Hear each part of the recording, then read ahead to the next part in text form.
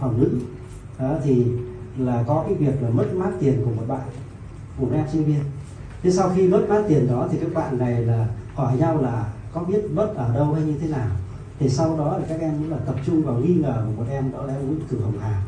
Thế thì Hồng Hà không nói gì cả và lặng lẽ sau khi các bạn là hỏi là thế thì bằng cách nào để tìm được cái số tiền mà đã mất? Thì Hồng Hà là Nguyễn Kiều Hồng Hà này mới là xô cửa đi ra ngoài và hết là khóc được cho các bạn là, cho là các bạn nghĩ là cho mình. Tức là bạn bị bị kích động tâm lý. Thế sau khi tiếng hét lớn như vậy thì là cán bộ đại đội đã từ dưới tầng trệt, tức là các bạn là trên cái tòa nhà của ba tầng, thì các tầng từ tầng 1 trở lên là sinh viên nữ, tầng trệt ở dưới là cán bộ quản lý. Thì cán bộ quản lý thấy thì chạy lên như vậy, thấy có cái tiếng hét lớn và cái sợ và cái kích động tâm lý của Nguyễn Cửu Hoàng Hà như vậy thì đưa em này xuống phòng làm việc của đại đội để mà mà nắm tình hình và động viên đối với Nguyễn Cửu Hồng Hà thế sau khi nắm thấy được cái nội dung tính chất của vụ việc và đặc biệt là cái việc chấn động tâm lý đối với Nguyễn Cửu Hồng Hà cho nên là uh, nhà trường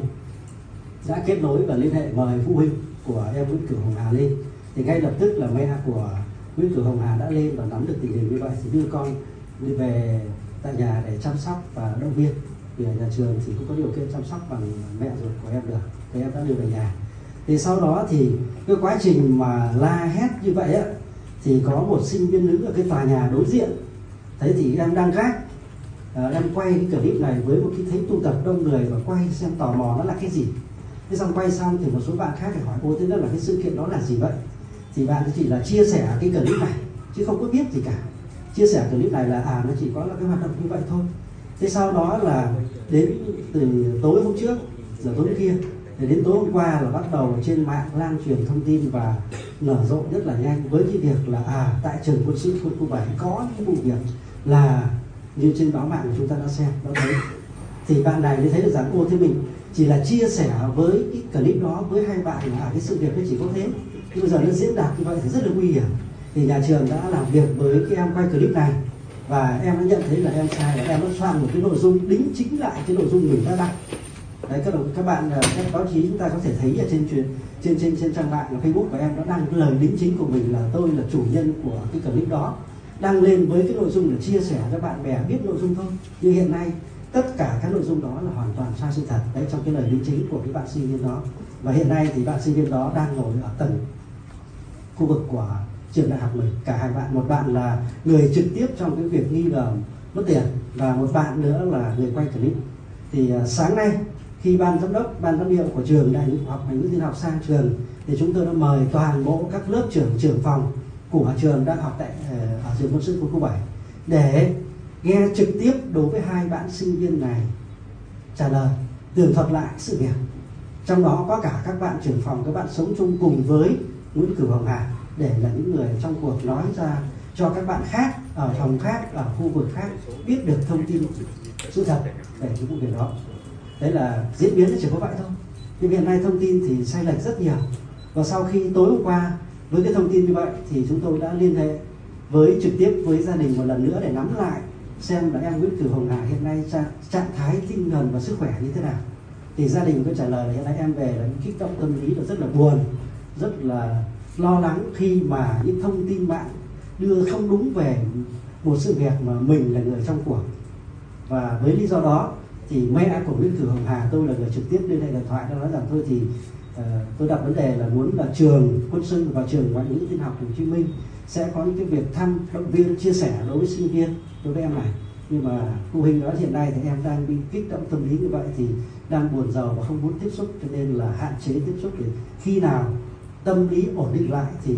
sẽ phối hợp cùng với để cho hai trường sang thăm và động viên chia sẻ với em để em sớm ổn định quay trở lại trường học tập đấy là về em Nguyễn Kiều Hồng Hà. À, à, hôm nay em ở đây là vì em muốn đến chính lại à, sự việc mà đã xảy ra ở trường quân khu 7 à, thì à, mọi người cũng biết là cái clip nó đang cái clip đang được phát tán hiện nay thì là do em em là người quay. À, thì vì chính vì em là người quay nên là em em là người viết hết tất cả các, uh, thông tin uh, ngay tại lúc đó luôn. Uh, thì sự việc là như này. Ờ, à, tô, em em là người à, em là sinh viên của lớp 24 à, của quân khu 7 à, của quân khu 7 à, em uh, em tối hôm đó ngày 10 tháng 1 em có một uh, ca gác đêm vào lúc 9 rưỡi đến 11 giờ. Và, và khoảng thời gian từ 10 rưỡi em có nghe tiếng la hét từ khu đối diện của lớp 23 thì lúc này và do tính tò mò của em nên thì nên là em đã lái máy quay lên và quay lại uh, sự việc diễn ra lúc đó. Um, sự việc diễn ra lúc đó thì em em quay được lúc bạn uh, uh, chạy ra ngoài và la hét thật lớn. Uh, vì tính tò mò nên là trong cái đoạn video em có nói em có hỏi với bạn ghép chung với em là uh, hình như bị uh, hiếp dâm hả? Ý, vì tính tò mò nên em ờ, chỉ hỏi bạn chứ không xác thực thông tin chính xác nên là em chưa có lan truyền cho bất cứ ai. Ờ, à, và sau đó à, khi khi kết thúc uh, sự việc thì em được thầy đến chính thầy thầy của em đến chính lại rằng à, bạn bạn sinh viên đó bị trầm cảm và vì bạn đổ và vì các bạn trong lớp 23 đổ lỗi cho bạn. Ờ, à, rằng bạn ăn cắp tiền thật sự là em cũng không biết là bạn có bị ờ, bạn có ăn cắp tiền thật hay không nhưng mà à, vì tác động quá nhiều từ các bạn đến với, của các bạn đối với bạn sinh viên đó nên là à, bạn có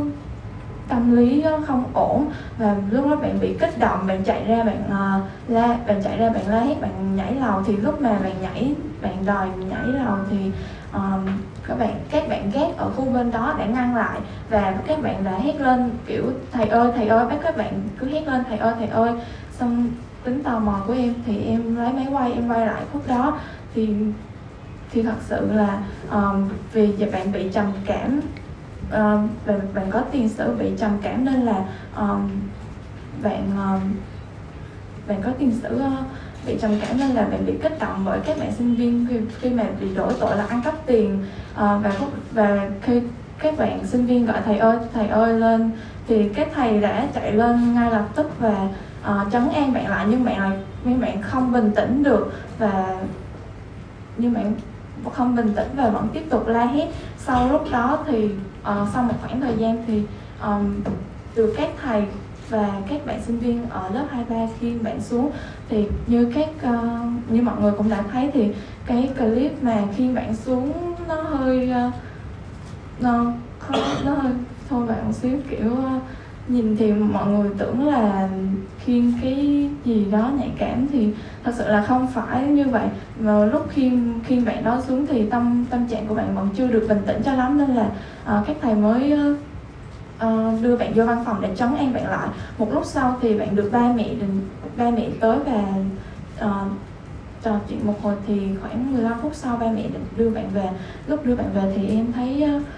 bạn vẫn đi mình lúc đó bạn bình tĩnh và bạn vẫn đi bình thường được rồi. Um, thì uh, qua cái sự việc trên thì em cũng đã rút ra một bài học rất lớn cho mình. Thật sự thì lúc mà gửi ờ, lúc mà em quay xong clip đó thì em uh, đã gửi cho một bạn cùng uh, đã gửi cho hai bạn uh, khác chung với em và một bạn uh, khác khoa uh, khác khu vực của em là một bạn nam uh, khi gửi em đã được uh, thầy của em đến chính lại sự việc rằng là bạn đó bị trầm cảm. Uh, nên có ý định xấu nhảy lầu. Uh, tuy nhiên bạn chưa nhảy hay là gì hết à uh, khi mà được đến chính lại được thầy đến chính lại với em như vậy thì em có gửi clip cho một bạn nam đó và em cũng đính chính ngay ngay với bạn nam đó luôn là không phải là hiếp không phải là bị hiếp đâu nha tại vì bạn nam khi mà em chưa gửi clip thì bạn nam đó đã nhắn tin cho em và hỏi là bên đó có chuyện uh, chuyện gì phải không? Bạn đó nói em là giữ vững tinh thần rồi vậy đó. Cái em mới bảo em mới gửi một cái video cho bạn đó và em nói là không phải bị hiếp nha là bị trầm cảm bạn bị trầm cảm. Và có ý định tự tử khi mà các bạn ở trong lớp uh, uh, đổ lỗi cho bạn là ăn cắp tiền. Uh, và thật sự thì em cũng không biết là bạn nam đó có tung tin sai sự thật hay là uh, gửi clip đó cho ai hay không. Hiện tại thì uh, khi mà được tra hỏi thì bạn đó lại nói là không gửi clip cho ai hết à uh, và em cũng rất mong uh, uh, cục điều tra điều tra giúp em việc này. Tại vì em không tung tin sai sự thật về việc này uh, không tung tin về vụ và về vụ hiếp dâm gần đây trên mạng xã hội. Uh, em thật sự không làm điều đó nên là mong cái cuộc điều tra điều tra giúp em là ai đã tung tin như vậy. Và thật sự là qua sự việc vừa rồi thì em rất cảm thấy có lỗi vì một phút sai sót của em mà đã dẫn vụ việc đi xa đến như vậy. Là chỉ vì một cái video mà mấy bạn có thể gán ghép rất nhiều sự việc uh, không đúng về nhà trường. Uh, em thật sự xin lỗi.